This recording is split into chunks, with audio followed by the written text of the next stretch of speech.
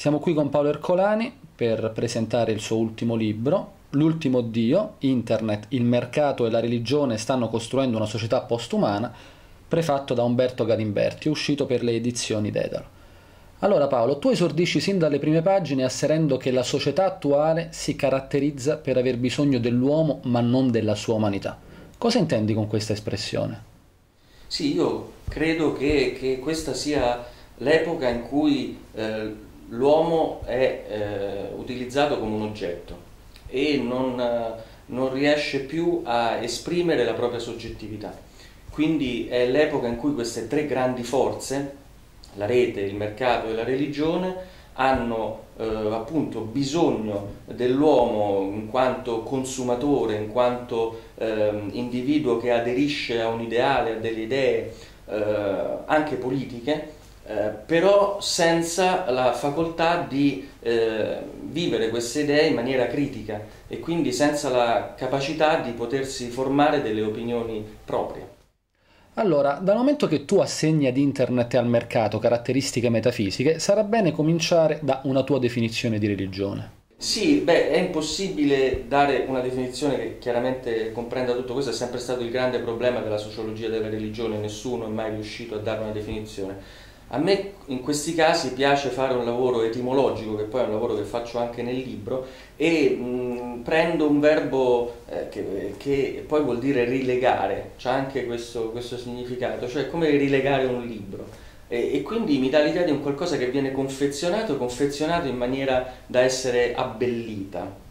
E credo che la religione oggi, eh, almeno la religione che critico io, è questa, questa indole che ha sempre di più l'uomo di abbellire eh, la propria società, la propria condizione, di vedere delle armonie eh, che lo confortano, che eh, lo, lo, lo, fanno sentire tranquillo rispetto al fluire delle cose, eh, ma in realtà non è così. Eh, il problema, come ci ha insegnato Freud, è che rimuovere gli aspetti problematici della nostra esistenza fa sì che poi eh, non riusciamo a mh, agire socialmente in maniera consapevole e quindi lasciamo che i poteri forti abbiano il monopolio della gestione eh, della, della, della, nostra vita, delle nostre esistenze. Dal tuo saggio emerge come le teorie liberiste del Settecento abbiano formato una sorta di nuova religione il mercato, in quanto prodotto naturale degli istinti egoistici dell'uomo, assume fattezze metafisiche, in quanto l'armonia del mercato veniva identificata con l'armonia della natura.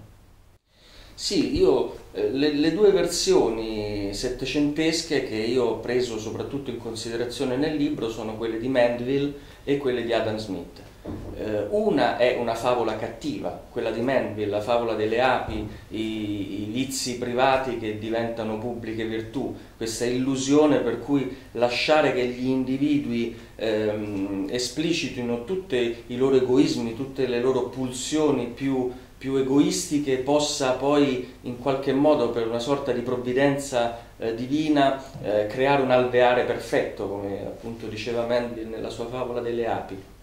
L'altra, più buonista diciamo così, è la favola di Adam Smith, eh, la favola per cui eh, c'è una provvidenza che lui, come sappiamo, chiama mano invisibile, che mh, garantisce comunque il risultato finale e che garantisce soprattutto il progresso della società nel suo complesso.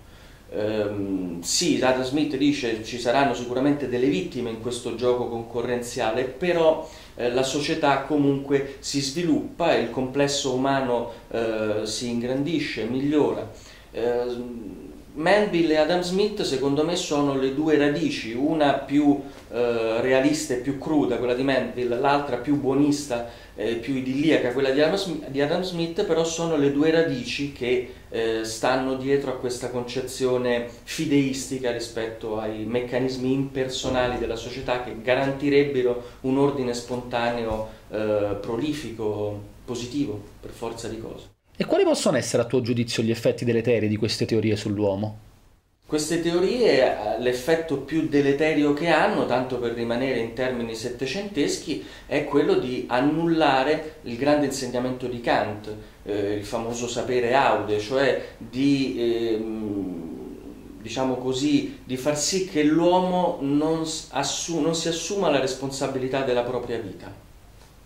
e quindi eh, si lasci andare, eh, si, mh, mm, si, conceda, diciamo così, a delle forze superiori, eh, immanenti o trascendenti che siano, che dovrebbero garantire il, l'esito felice e armonioso. E questo è negativo per due ragioni. Da un punto di vista soggettivo è negativo perché ovviamente l'uomo viene meno a, al suo compito fondamentale che è quello di soggettivizzarsi, cioè di, di, individualizzare la propria vita, di, di, particolarizzarla, di non cadere nel conformismo, di non cadere nella, nella, diciamo così, anche nella noia in un certo senso. L'effetto negativo a livello sociale è quello di consentire tutto il male possibile, perché tanto poi quel male comunque eh, diventerà positivo alla fine grazie a questi meccanismi impersonali che, che garantiscono non si sa bene come un risultato finale buono per tutti. Le correnti del liberalismo classico hanno parlato di libertà individuale in termini universalistici, eppure in alcuni punti del tuo saggio si evince come tali aspirazioni siano andate in realtà ad esclusivo beneficio delle potenze occidentali e a discapito dei popoli soggetti al dominio coloniale. Qual è dunque, a tuo avviso, il rapporto tra liberalismo ed imperialismo? Credo che per capire questo rapporto sia importante riferirsi a John Stuart Mill, che tutto sommato è stato fra i liberali, eh, diciamo di stampo classico, il pensatore più progressista, potremmo dire, il primo a prendere la difesa delle donne, eh, uno fra i primi a combattere per l'estensione del suffragio, per l'ampliamento del, del riconoscimento dei diritti sociali però è quello stesso John Stuart Mill che quando spostava la sua analisi da, mh, dai paesi europei ai paesi extraeuropei non si faceva alcuno scrupolo a scrivere espressamente che era perfettamente legittimo un dispotismo nei confronti dei paesi colonizzati in quanto paesi minorenni. E questa è una, un, una contraddizione interna al liberalismo e che però, mh, appunto, come, come dicevi tu, mette in evidenza il contrasto tra una libertà teorizzata all'interno dello spazio sacro, direbbe il mio maestro Losurdo, cioè all'interno dell'Europa, dei paesi occidentali, purché si marchi la differenza con lo spazio profano che è quello fuori dall'Europa, dall'Occidente in cui è consentito tutto, è consentita la guerra, è consentito il dispotismo, eh, è consentita persino la schiavizzazione. John Stuart Mill dice espressamente che è perfettamente legittimo anche un periodo di schiavitù nei confronti di, questo, di questi popoli. E, tra l'altro la cosa curiosa è che quando John Stuart Mill definisce questi altri popoli minorenni, eh, dobbiamo pensare che è la stessa definizione che per tanto tempo, anche nel corso del Novecento, i grandi liberali hanno dato della donna, hanno giustificato la discriminazione nei confronti della donna dicendo che la donna, per definizione, in virtù della sua sensibilità, del dell'essere meno avvezza al razionalismo, alla razionalità, la donna è un essere inferiore, quindi minorenne, quindi bisognoso di tutela. Questo credo che sia il meccanismo che sottende a questa logica del dominio. Anziché esaurirsi, l'idea metafisica di un ordine spontaneo sembra aver trovato maggiori possibilità espressive anche con la terza fase della rivoluzione industriale, che vede la nascita di quella che Manuel Castells in un classico lavoro ha definito la società in rete. Sì, e anche qui io mi servo di un autore nel libro che è Kevin Kelly, che è un, insomma, con, con la filosofia ha poco a che fare, è il fondatore di, di Wired, è il, uno dei più grandi diciamo, esponenti delle, delle, nuove tecnologie, del mondo in rete, del mondo digitale. Kevin Kelly fa espressamente riferimento a Friedrich von Hayek, eh, all'ordine spontaneo e anzi Kevin Kelly dice che la rete consente proprio, è il primo fenomeno che compare nel mondo umano che finalmente può rendere possibile quella grande utopia di un mercato perfetto, di un ordine spontaneo che finalmente è libero di agire in tutta la sua spontaneità e quindi di garantire, ehm, di garantire i risultati armonici e, e prolifici che, che, i liberali alla Hayek avevano in mente e che per loro era stato impossibile creare, per esempio, nella prima metà del Novecento. C'è un, uno strettissimo legame che peraltro è documentabile, basta leggere i grandi teorici, ma non solo Kevin Kelly, anche Negroponte, eh, basta leggere le opere dei grandi teorici ehm, della, de, della rete, del mondo digitale per vedere che i loro riferimenti al liberismo sono, uh, sono costanti. Pensiamo a Benkler, eh, che fin dal titolo della sua opera La ricchezza della rete richiama appunto eh, la ricchezza delle nazioni di Adam Smith, volendo proprio marcare questa, questa caratteristica che avrebbe la rete di permettere finalmente un mondo in cui la concorrenza è perfetta, tutti sono sullo stesso piano, tutti saremmo sullo stesso piano e quindi eh, la concorrenza verrebbe finalmente giustificata in maniera ampia e completa eliminando inoltre il tallone d'Achille della teoria liberale classica, la quale non tiene conto di un fattore importante per la realizzazione della libertà individuale in società, ovvero quelle uguali condizioni di partenza che Internet sembrerebbe invece garantire. Ma è veramente così? No, non è così, non c'è una condizione di partenza, basti fare un esempio tecnologico la sola Londra ha più server di tutta l'Africa, eh. Eh, ma non è solo questo, ovviamente sono tante altre. La, la, la, la, la pari condizione di partenza o una giusta condizione di partenza, noi lo sappiamo, la storia dell'Occidente ce lo insegna, è un qualcosa che si guadagna eh, con, si è guadagnato con le lotte, con le leggi, con l'intervento della politica con la P maiuscola, l'intervento della politica volto a garantire dei meccanismi che mettessero un po' tutti, per quanto è possibile, su uno stesso piano di partenza. La spontaneità, eh, la, mm, il libero mercato inteso in senso assoluto, l'anarchia economica non ha mai garantito, non c'è un solo esempio storico di anarchia economica, di totale libertà economica che abbia garantito una eh, giusta condizione di partenza per tutti. Nel tuo saggio sostieni che il libero flusso incontrollato di informazioni in rete, anziché favorire la diffusione democratica del sapere, produce in realtà una nuova forma di censura indiretta, che tu definisci anarchia informativa. Sì, io parlo di anarchia cialtronesca, però è giusto in questo caso concentrarsi, come dici tu, sul termine anarchia. Eh, un tempo il potere eh, riusciva a dominare gli individui eh, tenendogli nascoste le notizie. Oggi il meccanismo di dominio del potere sugli individui è cambiato, oggi il potere domina gli individui fornendogli fin troppe notizie. La rete eh, in questo senso è, è l'esempio lampante del, del, mito della caverna di Platone, in cui Platone ci insegna che le malattie degli occhi sono di due tipi. Una è eh, il passaggio dalla luce al buio, che è il vecchio potere, cioè ci oscurava la verità, ci oscurava eh, la conoscenza e quindi ci teneva in uno stato di, di, di soggezione Oggi eh, c'è la seconda malattia degli occhi, cioè quella del passaggio dal, dal buio a una luce troppo forte. Oggi noi siamo invasi da una mole di informazioni eh, troppo grande che gli stessi neurologi, neuropsicologi ammettono essere troppo grande per le nostre capacità cognitive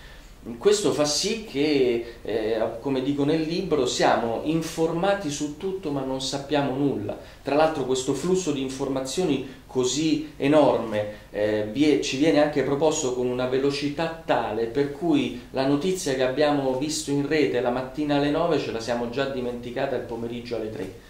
Ed è un meccanismo distrattivo che, che, appunto funziona in favore di chi ha interesse a tenerci in uno stato ancora una volta di, di non conoscenza. Eppure è opinione diffusa, specialmente nel dibattito pubblico, che Internet sia uno dei principali veicolatori delle proteste sociali. Pensiamo soprattutto alle rivolte magrebine di quest'anno.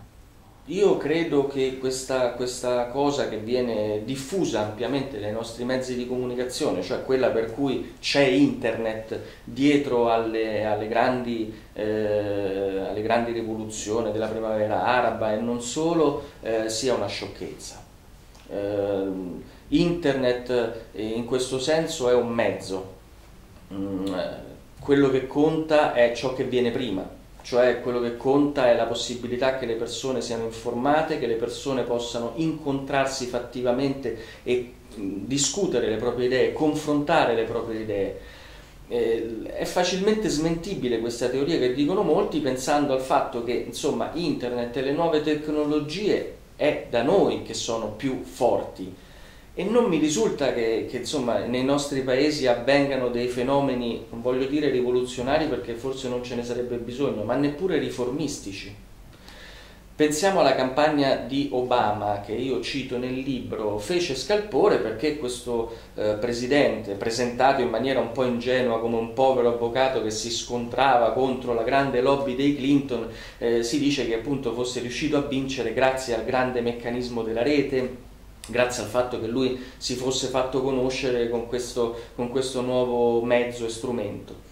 Eh, ad oggi noi prendiamo atto del fatto che intanto Clinton non è stato un esempio di democ- eh, Obama, scusate, non è, non è, stato un esempio di democrazia diretta eh, così come era nelle, nelle promesse e nelle premesse. Ma soprattutto prendiamo un dato banale, il responsabile eh, del, del, mh, dello staff di Obama per i nuovi media è stato licenziato già da quel D, ha perso il suo lavoro, eh, perché di fatto insomma, presentare la rete come cosa che viene fatta dai grandi apologeti di questa nuova tecnologia, presentare la rete come il nuovo regno della politica con la P maiuscola, come la realizzazione della polis, è un'ingenuità bene che vada o male che vada, una furbizia, un'ulteriore furbizia per, per illuderci che, che, quando siamo connessi stiamo, ci stiamo effettivamente preoccupando della società in cui viviamo e della nostra esistenza. In realtà non facciamo nulla di tutto questo.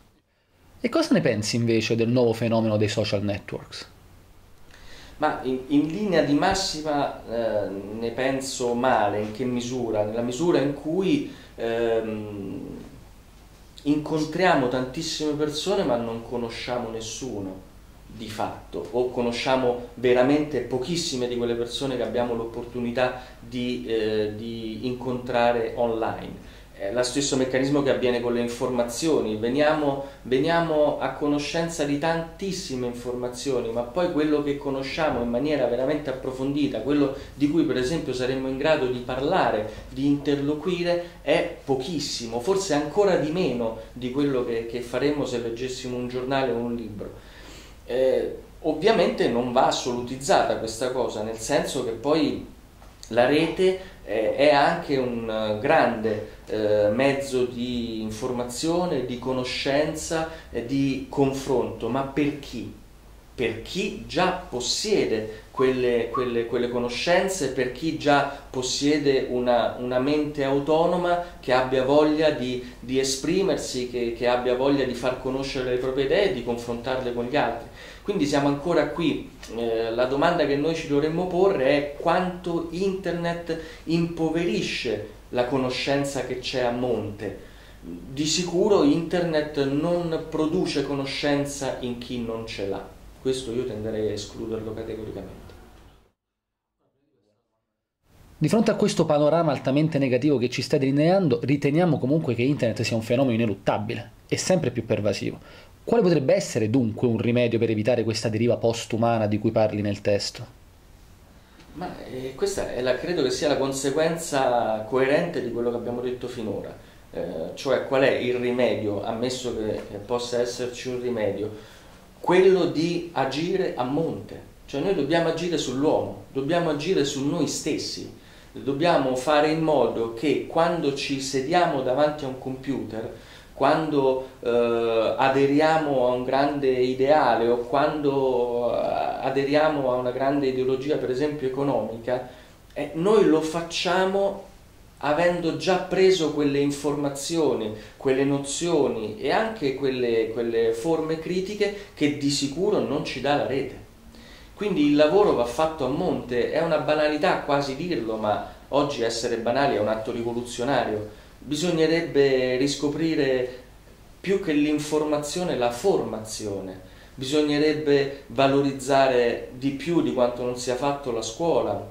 bisognerebbe anche l'educazione. Oggi è pieno di genitori che, che, che danno il videogioco al bambino perché questo non rompa le scatole. Eh, invece dovremmo riscoprire tutte quelle, quelle forme di, di, di, appunto, di formazione, di costruzione di un individuo libero, autonomo, consapevole, che poi possa tranquillamente gettarsi nel grande mondo eh, della rete, ma avendo lui la bussola, il timone e soprattutto l'idea di dove vuole andare non creare degli individui come noi sempre di più oggi facciamo, che eh, vengono immessi in questo mare magnum della rete e si lasciano andare dal vento, dalle onde, dall'ordine spontaneo di cui parlavamo all'inizio.